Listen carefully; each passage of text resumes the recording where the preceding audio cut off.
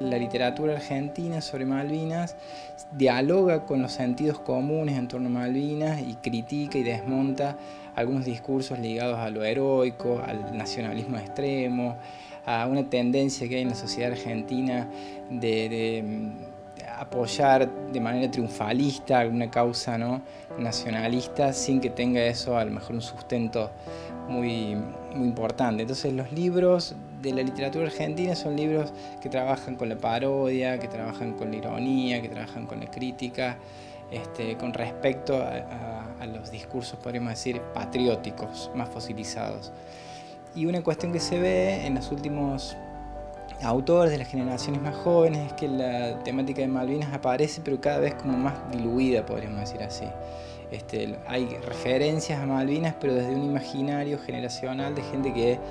no ha ido a Malvinas, como la mayoría de los argentinos, pero que tampoco vivió eh, como protagonista generacional eso. Entonces Malvinas es como una especie de, mancha o de, figura sobre la que se proyectan eh, muchos temas que tienen que ver con la argentinidad, pero de manera un poco eh, borrosa y cada vez más borrosa para el imaginario de los nuevos jóvenes.